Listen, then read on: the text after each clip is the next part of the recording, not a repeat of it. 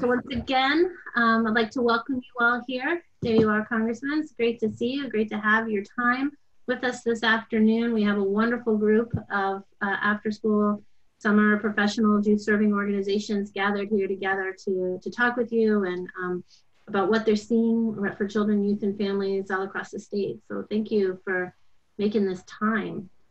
Uh, we've gone through some of the logistics, uh, but I just want to say um, once again to, the, to this field that has been such a privilege to work with all of you.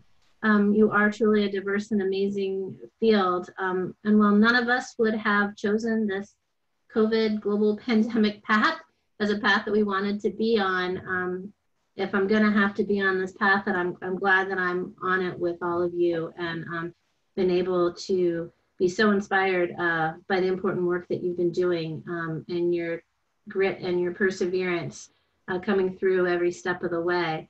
Um, I think the other thing that has really come through and that we really appreciate is the way that you've approached every challenge um, that has arisen every day over the last 11 weeks um, in this problem solving mindset um, with an asset based approach.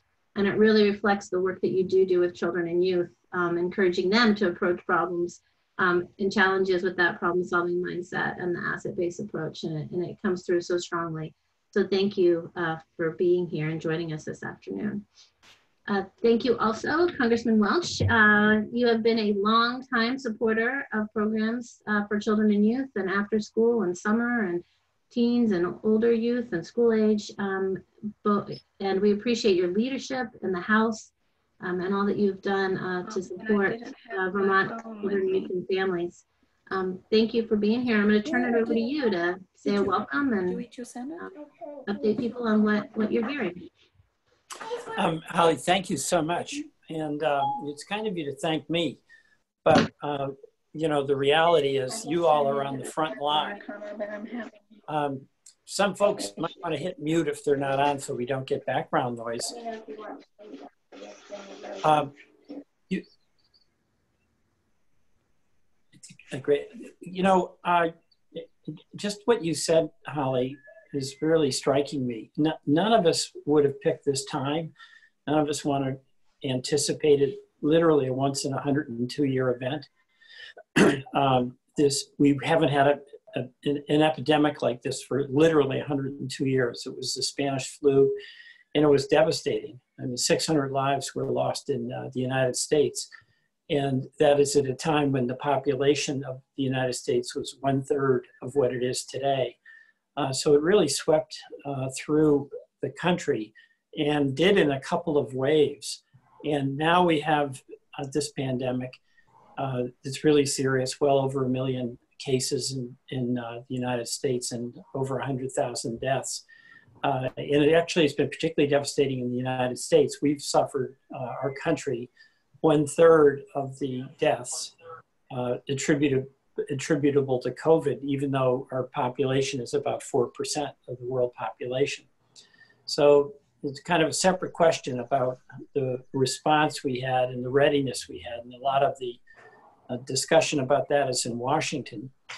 But what we do know um, is that the step that was required to try to arrest the spread is social distancing. Step number one. And the effect of that is that it turned the lights off on the economy, as you all know. And it's been extraordinarily disruptive for families, uh, for everybody, because we start out with that anxiety about whether we'll get it. For most of us, I think the real apprehension is will somebody we love get it? Uh, for the work you do, uh, parents are terrified that one of their kids will get it. And uh, you have that anxiety. And then on top of it, the enormous pressure uh, of financial insecurity that is so much part of this. You know, earlier this. Yes. I'm so sorry to interrupt you, but it's like you're wearing an invisibility cloak from Harry Potter. Like you're, we can see your chair, but we can't see you. I don't know if your camera flipped. Um, Oh, I, my my camera did flip. I, okay, there you are. All we could see was this chair, but there was no being in it. It was it was a, it was very fun. It was kind of a neat oh, no, trick. oh my God! It was my it was my Harry Potter invisibility cloak. You like, awesome. I like that. I was oh very goodness. impressed. I'm sorry All to right, interrupt. well, I, I don't know if the view is better with the camera on me or on the chair, but On I'll you. proceed. But I was saying that I, I went to, you know, we all know that the Guard uh, with the uh, Vermont Food Bank and uh, the Abbey Group are doing these food distributions at airports around. And I went to my first one today. And it's really stunning. I mean, people were showing up there at six o'clock when food was going to start to be distributed at 10 a.m. Uh, there were over 800 cars. Most cars are getting food for two or three families. Um, and I know in the work you do, you're just like on the ground aware of the reality of what it is for the families. The apprehension that uh, uh, one of the people in their family will get sick, but the, and the financial insecurity now. We have fully 35% of Vermonters who want to work not working. And that happened like overnight. Uh, just to give a vivid example, I spoke to somebody who's got a restaurant group, and they went from Monday night having 240 employees to Tuesday having four. And of course, uh, so there, there is just immense anxiety and people trying to figure out what to do, be at home, essential workers having to be at work. One of the things that is so much on everybody's mind is the well being of their children.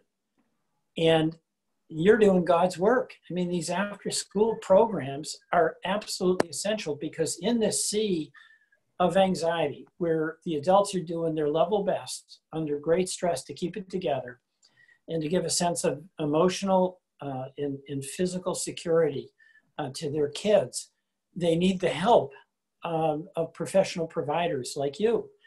They've got this is like essential what you're doing because the potential, my view, I'm really interested in hearing from you on this, but I think the potential for trauma is significant. So, how do you create this uh, kind of web of security around these children uh, who, at a critical time in their life, are going to get on the way to a healthy adulthood, or they're going to suffer something that results in some lasting impairment of their ability to reach their full potential. And we all know that with kids, it's like that attention, that emotional concern that comes from adults seeing them and being considerate of them and creating safe spaces for them that is so profoundly important. Uh, so I just want to say uh, that my gratitude to you for the work you do is enormous. And uh, I see you as essential workers, absolutely. My job is to try to get some resources back uh, to you so you can do this absolutely critical work. And on that effort, Bernie, Patrick, and I are totally united. Our, you know, sometimes people say our job is hard because we look at what's going on in Washington and we're all dismayed. Uh, and, uh, and it is hard, but it's, it's not as hard as your work, okay? Because you're day in and day out. And the other thing that when we're being candid, this is not something where the, the switch is going to be flipped back on. You know, there, this is going to be a, a, a long, steady, uh, hopefully ultimately successful march back to normalcy. but it's going to take an ongoing commitment. And that's why, Holly, what you said, I think, is so right. We don't pick the times that we live in. What we do decide is whether to be engaged in doing our best to help those kids who, in ways they're not even aware of, that they need that help. And that sense of security that a parent gets when they know there's some after school program and they have that period of time covered in their mind emotionally where they can just put at bay one of the worries about whether somebody's sick or put at bay uh, their financial worries because they actually are working then or they're doing something like going to the food bank to get some provisions for the for the for the week uh, it is really important. So uh, I just uh, I want to express my gratitude, and I know we've got a lot of people on this call, and it always is so uh, I think special to all of us that in Vermont we do I think kind of have Holly's attitude that you know what do we got to do? We don't like the situation, but you know this is the situation, and let's go. So I thank you very much for that, and I look forward to our conversation. Uh, I just so you know, I have on the on the call here uh, Rebecca Ellis, uh, who's my director here in the state, uh, and Lizzie Haskell, who uh, is is uh, one of my staff members and is totally focused on the concerns that you have. So I regard this as a beginning conversation, and our office is available anytime to do anything that can be helpful to you doing the very very important work that you do. So Holly, uh, I'll stop there and turn it back to you. Awesome. Thank you so much. so uh, refreshing and empowering to have a leader like yourself who understands, you know, the context and the connections. Um, I think, uh, Sam, I'm going to ask Sam because we had folks do a quick poll when they came on just to get a feel for what part of the state um, they're calling in from. Um, so the, here are the results. I hope everybody can wow. see it on your screen. Um, so nice um, diversity. Wow, yeah, that's um, good. across. Um, the second question uh, was what type of program? So school run, uh, after school or summer program, a community-based summer day camp, parks and rec, child care, teen programs, our community partner. And then uh, there was a quick question about challenges. So it really is, uh, and this is kind of what came through in those pre-registration questions, funding and financial concerns, as well as deciding when and how to reopen, right? That magic question that we all are hoping for answers um, to. So thank you, Sam, for sharing that. I think if we just hit close, that moves yeah. out. Um, I'd like to invite, uh, we're going to try a fishbowl panel. Um, so we're not looking for a series of mini presentations, but just to have, we have seven uh, directors who have volunteered or have been volunteered, invited uh, to do this fishbowl discussion with us. And I'm gonna ask uh, Beth Chambers, who's the director of the Encore program and the North Country School Supervisory Union up around Newport in the Northeast Kingdom, to start us off by talking about the contributions that uh, your program has made, Beth, um, over the last 11 weeks in your communities. What does that look like and what have you been focused on? So uh, I liked hearing that, that quote kind of, what do we got to do? Because that's exactly what I felt like all after school program staff gathered together and said. So uh, we really spread out. Um, we have programs in nine different elementary schools, almost 170 staffed for over 1,200 children. And, uh, you know, we really immediately started spreading ourselves out. And so we had uh, a large number of staff who were making and delivering meals in all of our schools. We spread out. Um, I was the point person for our essential childcare, and we had many of after school staff who were working in the three programs that we opened up for essential persons. And we offered some remote enrichment. So we sent 930 enrichment packs home to kids uh, that had over 16 activities per pack that were age appropriate. And wow. um, yeah and they went out to all of the kids and they connected to two clubs. So we had over 20 different clubs that we offered and each pack connected to two clubs. And they could go online on our youtube channel and see their own instructors from their own schools from Encore programs leading different clubs, and then they would have the supplies to do the enrichment activities. So we were really doing our best to stay connected. And I feel really grateful in RSU to all be staying on the same page. Um, we just, we really want families and our schools knowing that we're going to be there for them regardless. So through the summer, after school, next year, whatever we need to do, we're going to be there. It's been amazing, Beth, to watch what you all are doing. Um, I'm wondering if Kim, Kim Peters is the superintendent of Rutland Recreation and Parks down in Rutland City. Kim, can you chime in sort of the from the town and recreation? Sure.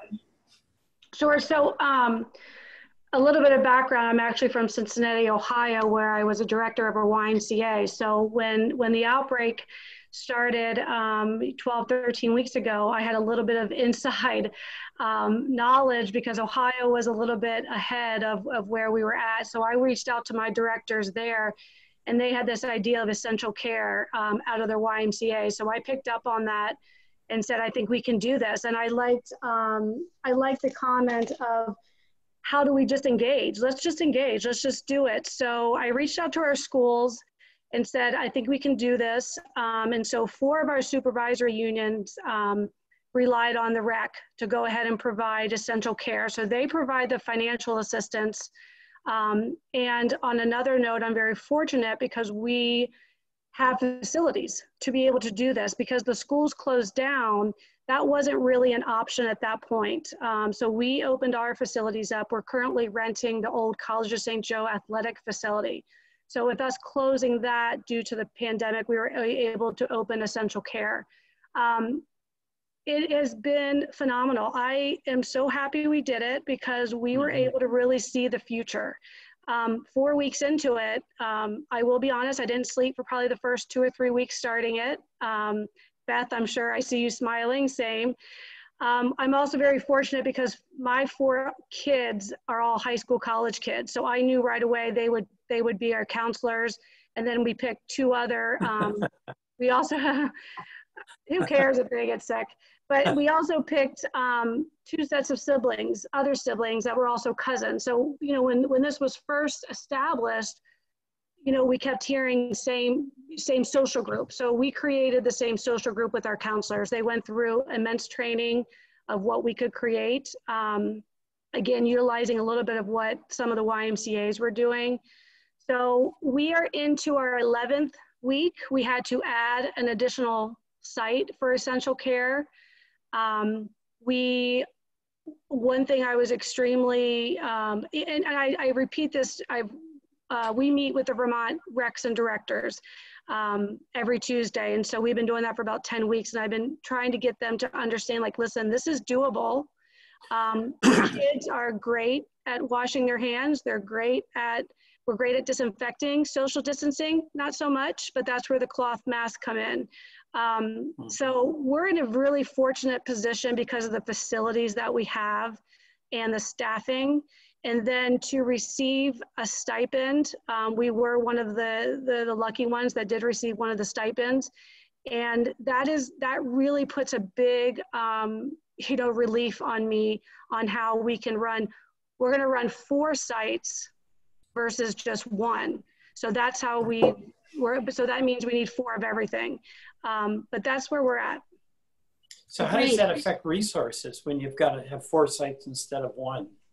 so again getting receiving that stipend is it mm-hmm. just makes it easier so i was on amazon yesterday ordering everything i could so yeah it, it, that's it is as far as um, staffing i think again i'm a little fortunate because i have four kids that are in that age group that are counselors i typically run with 40 lifeguards in the summer so a lot of them are going to convert over to um, to be counselors. And as far as somebody mentioned the, the extensive training, we did first aid CPR.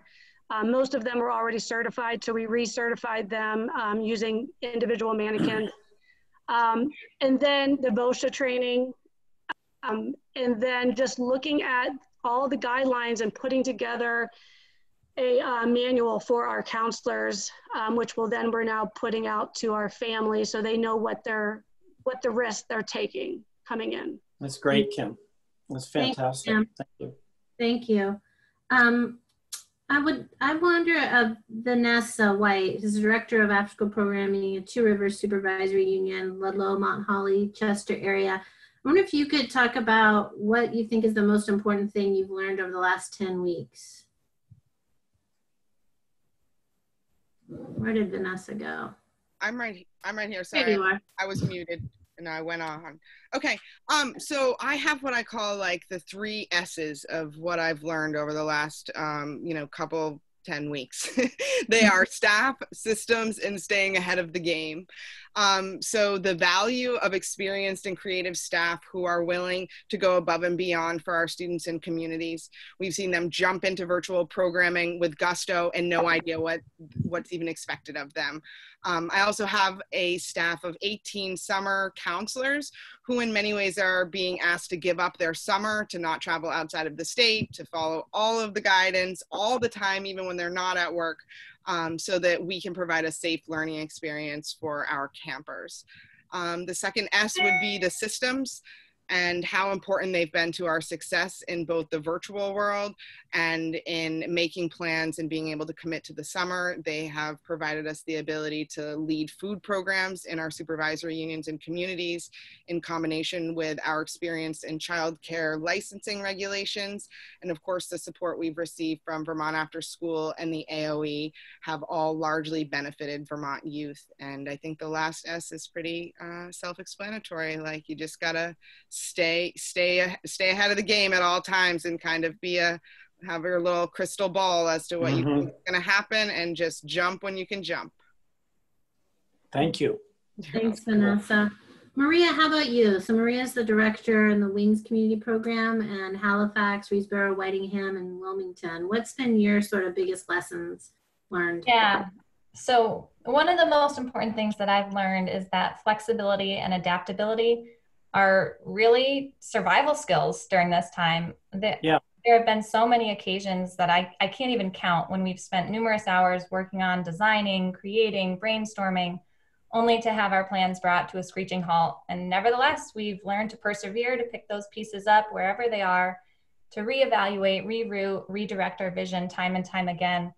Um, and I think the most recent example of this is when we've been planning for summer. We have spent endless hours working through every kink and detail to ensure that we could run the safest in person camp possible. But in the end, our SU has made the final decision to not allow in person programming this summer. And while we completely understand this decision, considering the health and safety risk, um, our plans were yet again upended and we had to completely shift gears. So while this is frustrating at times, um, I've learned that being flexible and adaptable is is key, and just to float with the current instead of fighting it.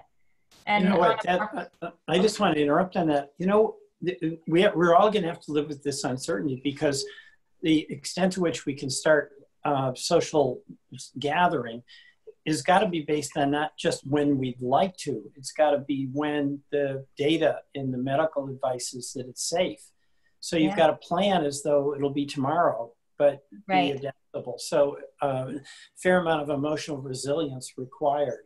Absolutely. Yeah. Yeah. And on a more positive note, I think too that our flexibility and adaptability have truly cultivated this whole new level of creativity and innovation in mm-hmm. both myself and, and our wing staff as a whole. Um, and as a result of being flexible and adaptable, we have been able to reach and serve our youth in ways that we had never before dreamed possible. Mm-hmm. Um, some examples like over April vacation, we were able to launch a virtual program camp. And just the level of quality programming, the creativity and engagement that our virtual program leaders were able to offer just really still astounds me. It was, it was truly incredible. And we also were able to recognize our high school seniors through Project Warm and Fuzzy, in which we collected and sent out 240 letters to our high school seniors uh, from their families, their friends, teachers, and other school staff. And we've been sending birthday cards out to students who've had birthdays during the school closure. Well, you know so, what I love about that is you're finding a way to acknowledge the uh, the transition, you know, that uh, life moment uh, you know, normally it's the graduation. We've got our rituals that work, um, right, and have for 102 years, but they don't work this year.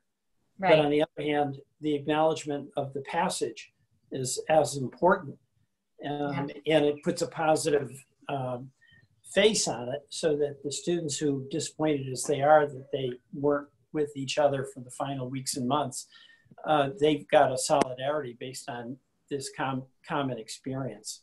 Yeah, yeah, they're they're they were still recognized and valued. Yeah, so right. that was pretty amazing. Yeah, so just overall and reflecting on the past 10 or 11 weeks, um, the wing staff, my co-director Katie and myself, um, we've discovered that not only have we survived, um, but we've actually thrived on being flexible and adaptable. Mm-hmm. Well, good for you. It's great. Thanks, Maria. Thank you. Um, Mandy Chesley Park, um, you're the director of the Expand Learning Program in Mount Abe Unified School District, Bristol area. Um, my question to you is how have your relationships with family and youth changed over the last several months? That that's a great question, Holly, and I, have been thinking and pondering that a lot since some of these, you know, we explored some of these questions. And I think one of the first things that we've identified is the fact that we were all kicked off our feet together. And so there was this mm-hmm. collective sense of vulnerability that was fodder for some amazing things that have happened over the last 10 weeks at our essential child care program. Um, all of a sudden, just like you were saying, Peter, right, we all became kind of essential together. Mm-hmm. And over the last uh, 11 weeks, you know, almost 11 weeks, we have served almost every um, worker on that essential worker list. And, you know, it changed, it evolved as we went along, but um, we were able to open to two additional school districts as well in a hospital community and one of those. And it was this, it was this great equalizer and this great um, unifying force that brought us all together. And especially those first couple weeks it was that that shared feeling of the rest of our um, our neighbors are doing their civic duty by staying at home and not right. you know going out. that's right. And so and here we are here we are together and it kind of felt like you know we're, we're moving we're navigating or someone has said we're building this um, this plane while we're flying it. And it was and continues to be um, an environment where we have built relationships and community that will continue for years after this um, you know the other piece is that we've always you know summer and after school where we've always been this kind of um, this bridge, or I kind of think of it as this triangle between school and family and community. And we always triangulate and draw these um, these different stakeholders into a, a, central focal point. Well, I feel like during this we kind of became a pentagon and we added a couple more points to our shape. And, and I like that idea too, because that's kind of the shape of a house and it, and it, it kind of suits us. Um, but we had our school and we had family and we had community and then we added state like Vermont became a huge presence in what we were doing in Vermont government. And then of course, healthcare. Um, we added nurses into our staff. We were directly plugged into Vermont Department of Health. And so even more so, we became this, um, this like fertile soil for, for holistic health for families. And we've, and community and staff. And we've always felt like that's what we were doing. It just added layers and added um, even more shades to the work we're doing. And also I think surprised us all a little bit maybe you would have told us this already, Peter. Maybe you've already seen that this is who we are. But it was a real, um, the opposite of an identity crisis. And it was like, wow, this is who we Embracing. are. Embracing. Yes, yes, thank you. Um, so that's that's become powerful, and I I don't, you know, I see that this will just strengthen the work that we've always done. Well, thank you very much. You're still you. smiling. she is. She's been smiling the whole way. she's been very well, yeah, you're right. we have to. We have to. I want to um, come back up to Burlington and ask Christy Gallese, who's the Director of Expanded Learning for the Burlington School District, uh, to talk a little bit about sort of the challenges when you look forward. What's the biggest challenge you're facing um, at this moment? Thank you. Hi, everyone. Um, you know, I think I always try to look at our challenges as more of opportunities. And certainly for, for right now, we're really seeing, again, that continued importance for summer learning programming and how it's going to be more important now than ever. So how can we continue to be innovative and adaptive? Um, and I think really the challenge is meeting and prioritizing the really diverse needs of all of our stakeholders during this time and how that can come together through summer. So we have our students who we know are in a huge need to be in a place um, where they're supported and safe. Our, our staff, our families, our English language families, and how we're communicating with them, our community partners, how we're mm-hmm. aligning with our extended school year services programs. Um, and our district teams, thinking of even the property services group within our school district and how we can kind of meet them in the middle too, so that everyone can feel like they're doing the steps they need to make the work happen. Um, and then also really seeing how we can continue to support our essential worker families um, that were the, the child care program. So I think mm-hmm. those are a lot of the different pieces. It's a puzzle and putting so it like How many, how many students do you have? How many people in your program? in a, in a typical summer, we have around 500 students, so 200 elementary students and five, uh, 300 middle school students. And we're looking at, unfortunately, we're going to have to reduce that capacity to about half for the summer. And really knowing that that's hard to do when right now we know more students are going to need access and, and support. Um, so really, how do we how do we continue to wrap our arms around our families while kind of ensuring the, the safety, security, and health of, of everyone. Um, and, and I think also looking forward, um, being prepared to restart school year and mm-hmm. provide mm-hmm. kind of that critical space that after school is. So really mm-hmm. balancing mm-hmm. all of those competing priorities because each one is, is really important. Mm-hmm. Well, thank you. Thank you very much. Thank you. Thanks, Christy. Um, Carrie McDonald, um, who's the director of the One Planet program and the White River Valley Supervisory Union, so South Royalton, Sharon, Tunbridge, that whole area. Um, Carrie, I wonder if you would talk about your plans for the summer, um, what you've learned um, as you've been doing that planning and what you're looking at going forward. Uh-huh. Sure, thanks for having me. Um, so obviously our summer is going to look very different than um, any summer program we've offered before. Um, we're thinking about uh, the isolation that students have been experiencing and really thinking about focusing oh. on um, their social emotional needs and um, kind of building that sense of belonging again and building their confidence in their social and emotional skills. A lot of that I think has been lost over the last few months for mm-hmm. a good portion of our kids. Um, we're also thinking about, we are a school-based program, so we view this summer as a trial run for the school year. Mm-hmm. We'll be introducing our kids to new behaviors and new mindsets so that they're better prepared for the fall. Um, we're looking, or we're working closely with the principals around the way we address the CDC guidelines. Um, so at the end of the summer, we can report back to principals and say, this is what we did and it worked really well, or we tried this and it didn't work very well. Um, I mean, you can implement the CDC guidelines in a way that will make school feel like prison. or right. you can be really thoughtful and creative and implement these guidelines in a way that keeps kids safe, but um, honors their social and emotional and physical needs. Um, yeah, and that's going to take a lot of thought and a lot of um, care. Yeah, definitely. Yeah. Yeah. I, you know, I'm interested in your. I sorry to interrupt, but uh, the the sense of isolation. I remember as a kid in the summer, um, when I wasn't going to school and have structured activities and playing sports and stuff. Um, I used to feel pretty lonely, and I imagine that for a lot of kids, if they they don't have that ability to get together and they've got to be so they they've got to go through the distancing the rest of us are going through. I mean, that does sound like a very very significant challenge. Absolutely, yeah. I mean, our hope is that you know we can introduce some of these new behaviors and mindsets in a way that is supportive, so that they're not so scary and overwhelming. Mm-hmm.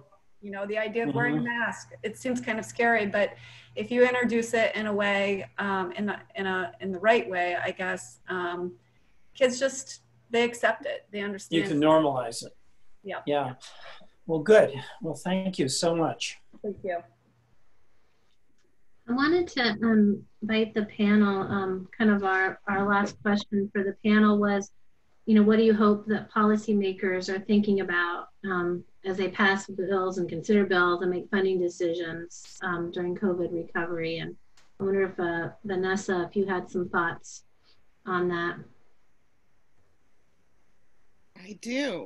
I, I want to recognize the fact that I know that I'm kind of preaching to the choir that that you're from Vermont and that you you understand how rural we are. So and that and that you will continue to fight for us. But I'm I'm deeply concerned about the number of federal funds that are going to large cities in our country while leaving behind the small rural communities. Living mm-hmm. in Vermont, we, yeah, living in Vermont, we don't have a single city of half a million people, so we're not we're not getting a lot of dough right now. Um, right. But we do have a lot of families living in poverty. We do have a lot of struggling working families. We do have a lot of students whose parents are small business owners who we know have taken a hit, um, mm-hmm. and we we know that rural poverty is is big and grand and, it, and it, it, it shouldn't be only large cities. So um, I ask that policymakers realize that most of our programs are supported in a large capacity by local funding.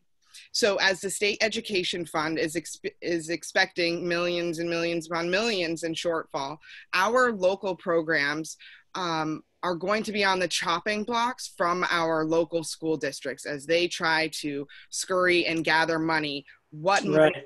after school did have um, is at risk of being lost. So um, I think it's just really vital for to not only support the after school program funding, but that the federal government needs to continue to support um, our small rural public schools mm-hmm. that because if if the, if all of our school systems can't afford after school and we're only surviving on federal funds like we're just going to have to cut more stuff and so i want to you know I, you, I know you're right. And, and, and actually, let me just speak to that a minute because one of the big debates we're now starting to have is state and local aid. And um, it is so important that Congress get that aid to Vermont and to the community so that there's at least a shot in Montpelier that they can continue funding your important programs. You know, at the federal level, I don't think we can micromanage but the fact is, rural America has special challenges that you've outlined. And if we don't get the money back to Vermont, then there's going to be no choice for the taxpayers. You know, that they'll be up against the wall. And of course, that means the in, extraordinarily important service that you're providing to the kids uh, would be in jeopardy. Now, in the HEROES Act that we passed in the House, uh, we would have 1.3 billion dollars coming back to Vermont next year and 1.4 billion the year after. And in addition to that, well over 400 million dollars would be distributed to the communities, including small communities. So it gives some breathing room. And this is where we're now starting to have a debate with Senator McConnell in the Senate, who his view is that let the states declare bankruptcy, uh, which is basically let the kids survive on their own. You know what I mean? Uh, let them sink. And I, we've got to get that through. Uh, and then that gives, as I say, the opportunity for you to work with folks in Montpelier uh, to find a way to keep you uh, keep you ro- keep you going. Um, so I know Bernie, Patrick, and I are on the same page on this. Okay, and we'll do all we can. But thank you for the work you do. Thanks. Thank you, Christy. Did you have something you'd like to add here about policy? Yeah, absolutely.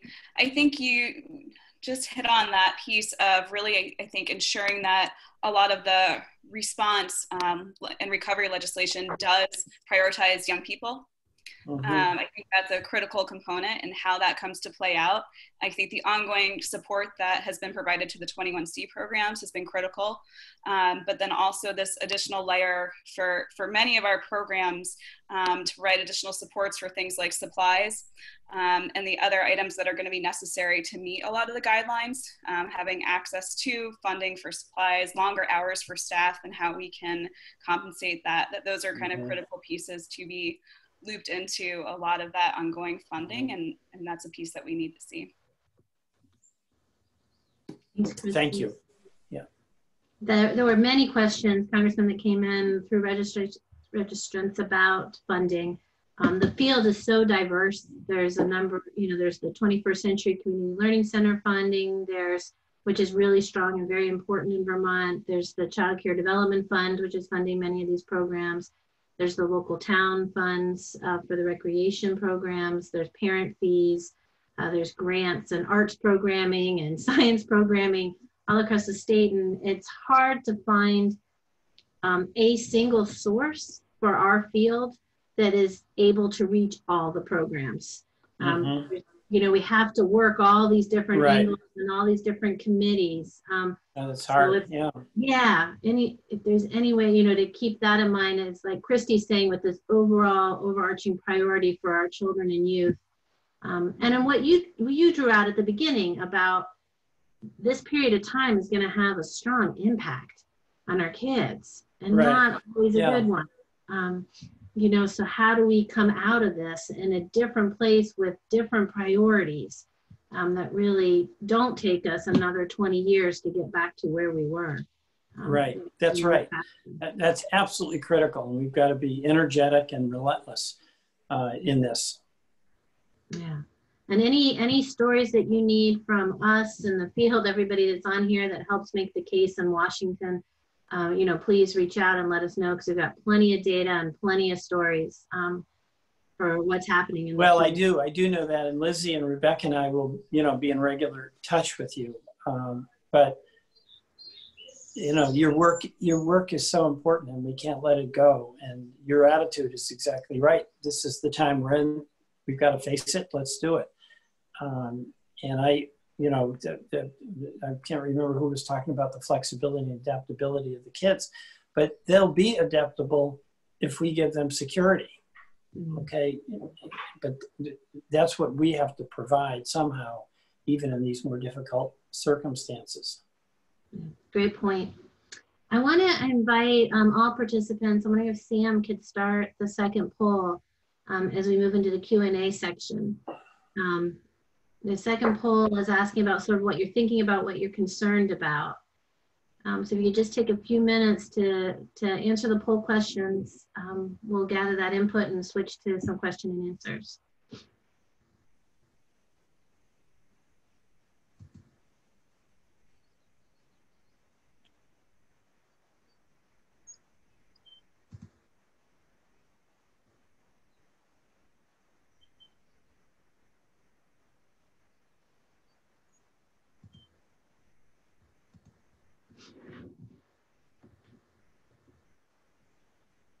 All right, two more seconds.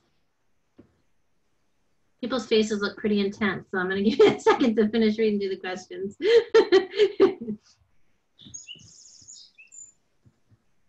um, yeah, Danielle had a good point um, about technology. I'm just reacting to the chat. Um, you know, technology, I know that's something that you've worked on a lot, Congressman, and that came through in the questions and concerns and unequal access to technology. There's also a lot of concerns about will kids be able to keep their devices over the summer? Um, So the programs can reach out to them or not. Um, that's something that's been coming through a lot. Uh, what, Sam, what is the story about kids and their devices i don't know the answer to that As um, Maria, thank you. Um, pick up, I'm sorry, Holly? Uh, Maria, can you go ahead? Yeah, yeah. So, um, so we don't have a definitive answer on that yet. Um, we are moving forward with virtual programming because our SU has decided not to do in person.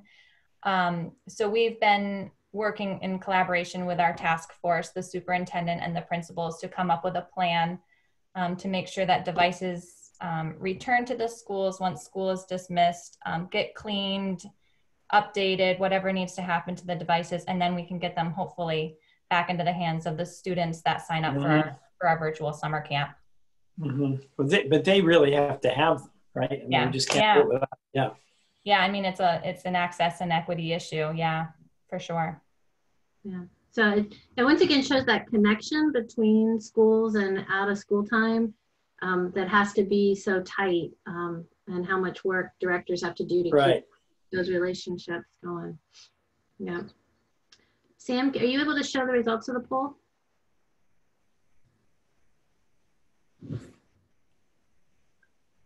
Ah.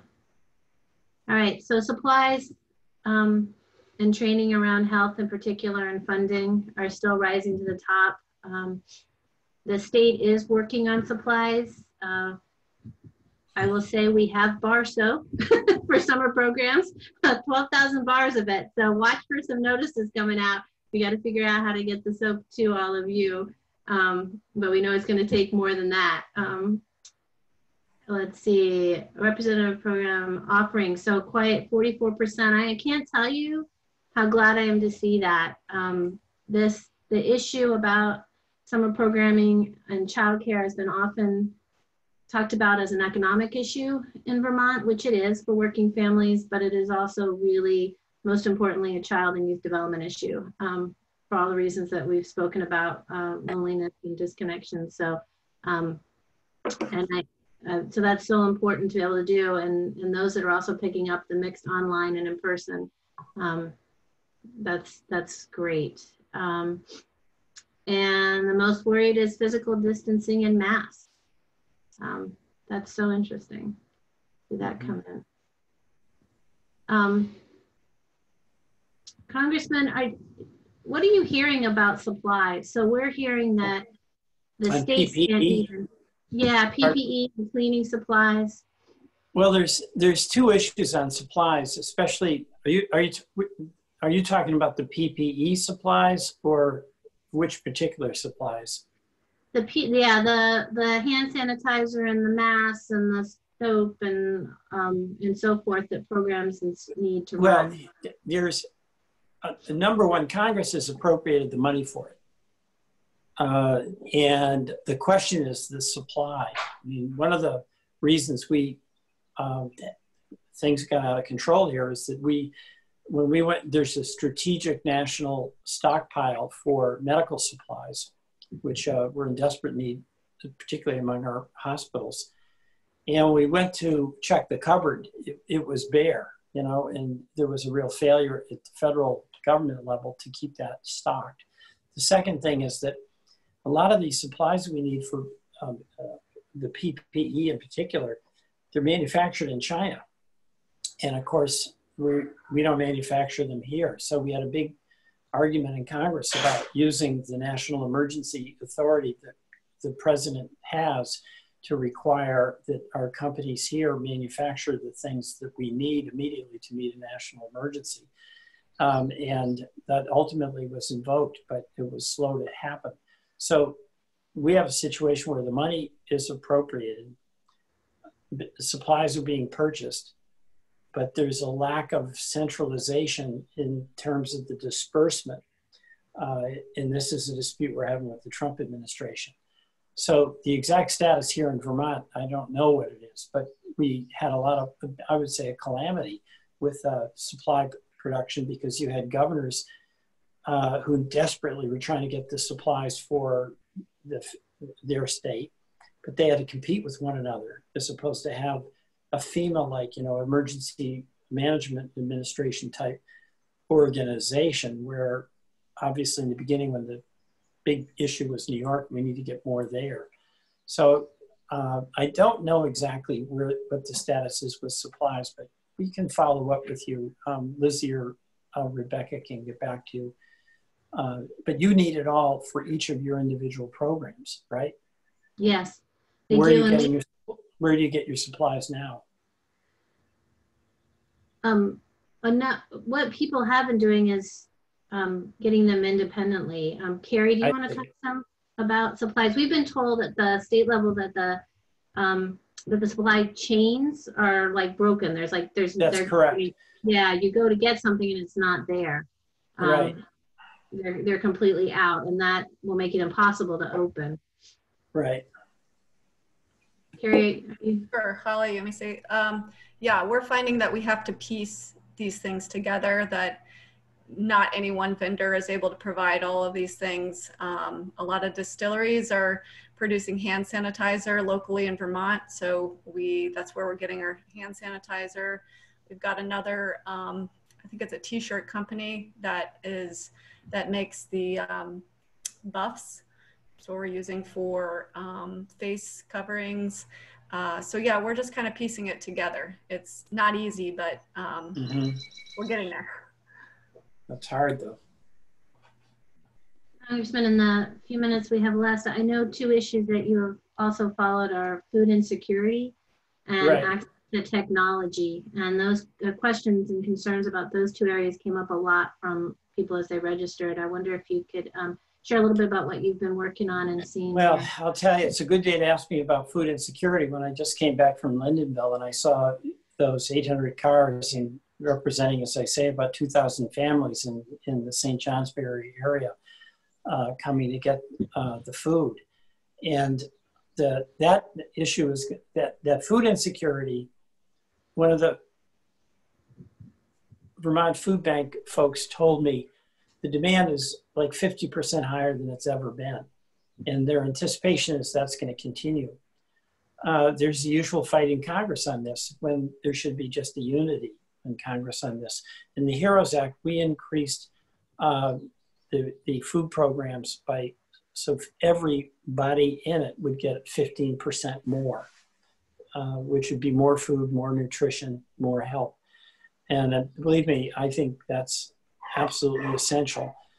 Um, we're having, we have to get that through the Senate where it's a tougher, uh, it's a tougher slog.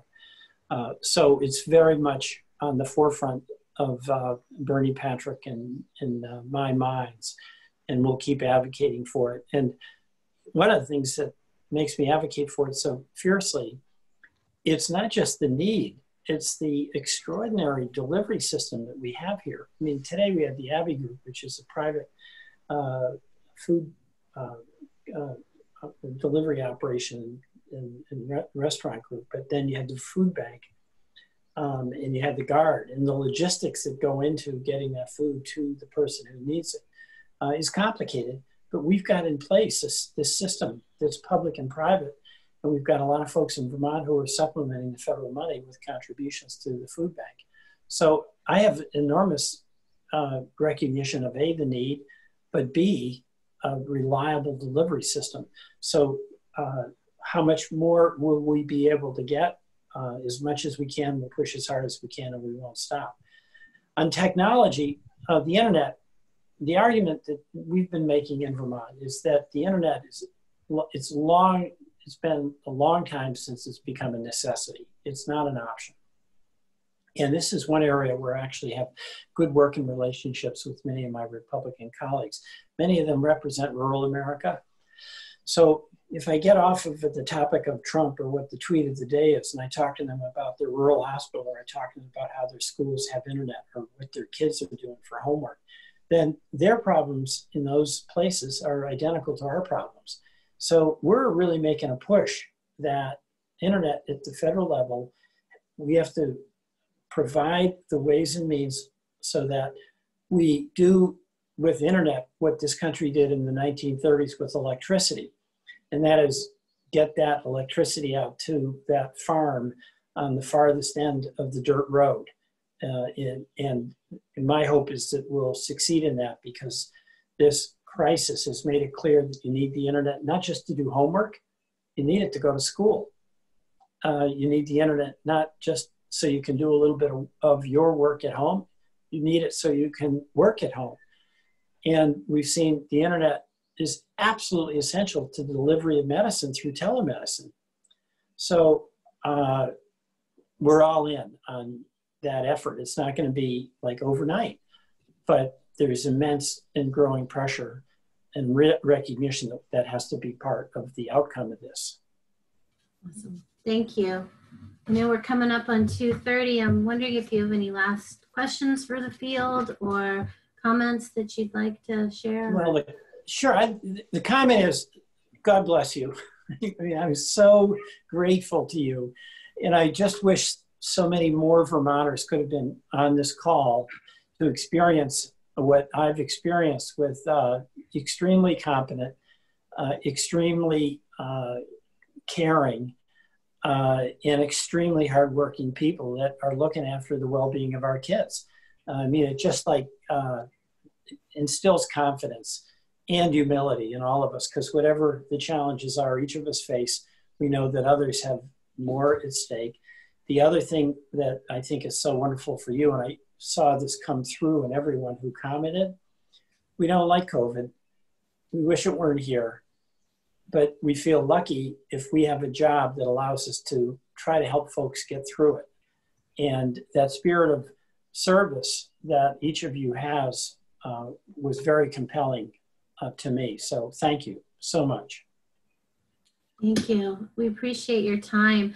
Um, everyone, if you still had questions that we didn't get to, um, feel free to email Nicole. Um, she sent you the link to the session this morning and we will pull those together and get them to Congressman Welch's office um, and let them know if there's topics we haven't touched on or stories that you want to share or tell. She just put her email in the chat there because um, we want to make sure um, in an hour it's hard to get everybody heard. Um, so we tried as many different ways as we could, um, but we want to make sure that, that all of you have a chance to share what you want to share. Um, so thank you again for all for being here. Uh, thank you to the panelists for helping um, lead the discussion. And thank you to Congressman Peter Welch for um, for asking for this forum and, and showing Yes, up and fighting for the programs. Really appreciate it. Bye bye. Thanks everyone. Bye bye.